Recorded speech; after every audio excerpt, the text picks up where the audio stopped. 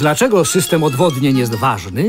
Oto żywność, a to system odwodnień. Jesteśmy w zakładzie przetwórstwa żywności. Żywność dosłownie jest spłukiwana do systemu odwodnień podczas każdego czyszczenia. Nic dziwnego, że w 70% przypadków bakteria listerii znajdują się właśnie tam. Oznacza to, że system odwodnień może być istotnym źródłem zakażeń żywności. Pomyśl o ruchu, jaki będzie odbywał się po odwodnieniu, albo o wodzie zalegającej w systemie odwodnień lub w jego pobliżu, która może być źródłem zanieczyszczenia żywności. A propos zagrożeń, niewłaściwe metody czyszczenia w połączeniu z nieprawidłowo zaprojektowanym odwodnieniem mogą zakończyć się prawdziwą katastrofą. Jak temu zaradzić?